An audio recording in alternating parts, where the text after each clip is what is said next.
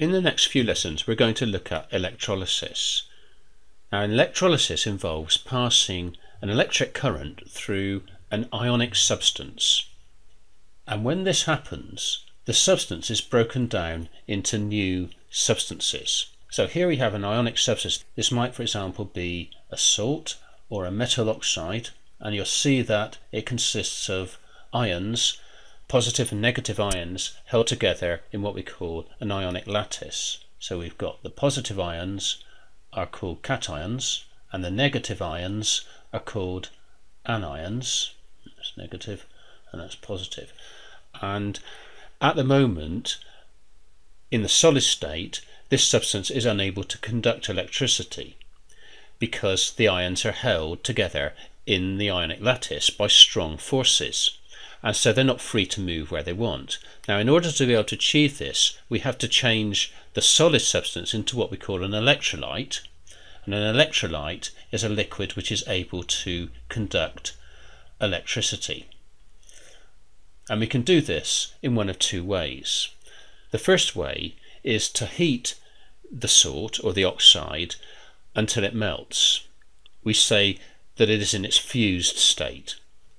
Okay, so we've done that. So we have now got an electrolyte, that's the salt in its fused state. Hmm, we call it fused. And you'll notice now that the ions are separated. There are positive and negative free ions which are free to move between the electrodes. So looking at the battery here we can see that this is the negative electrode and this is the positive electrode and what will happen is that the cations, that's the positive ions, will be attracted to the negative electrode. Let's draw that. Okay, so cations attracted to the negative electrode, therefore the negative electrode is called the cathode. Okay, remember that cations go to the cathode. That's the negative electron. Likewise, the negative ions, which are the anions, they will be attracted to the positive electrode. There, like that and so the anions are attracted to the anode. And this is called the anode.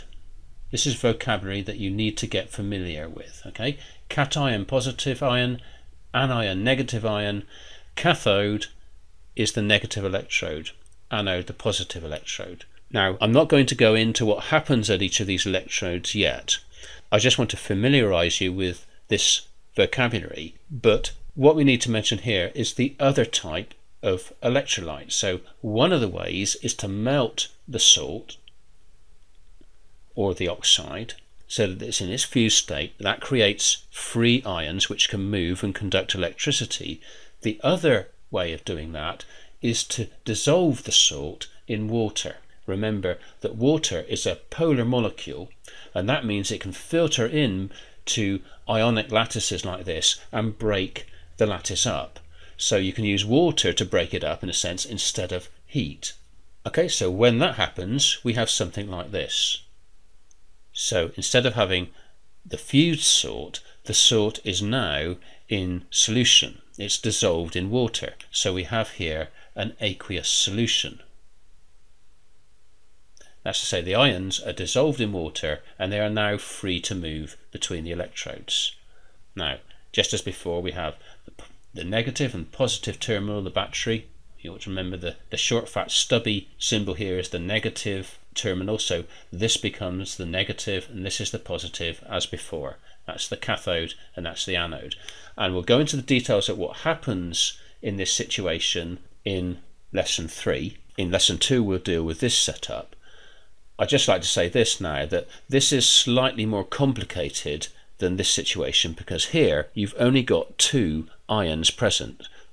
The negative anion from the salt and the positive cation from the salt. Whereas here, not only do you have the salt ions present, but you will also have ions present because water itself becomes ionized in this situation. So we will have the water molecule ionizing into hydrogen ions and hydroxide ions. So we're going to have additional ions present in this solution which will complicate things.